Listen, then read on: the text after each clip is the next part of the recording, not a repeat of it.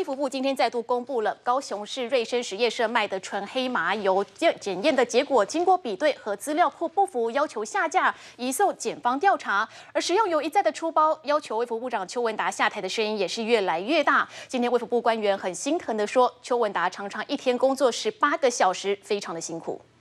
这种事情哈是传说哦，一切都会有人调查嘛。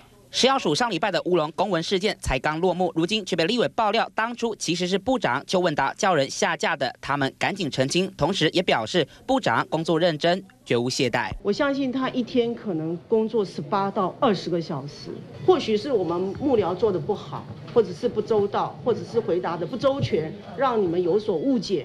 那这个的话，有部分是应该我们要来承担的。驳斥外界传闻，同时也强调部长认真尽责。但是几家大厂鼎新、福茂先后出包，鼎新更被查出掺大桶油的时间长达六年。卫福部一个礼拜前明明查到油品有问题，却不公布，被外界质疑根本隐匿。查明是不是确定这些油是从这个呃彰化大桶卖出来的，一定要拿到一个佐证资料，包括契约书，包括。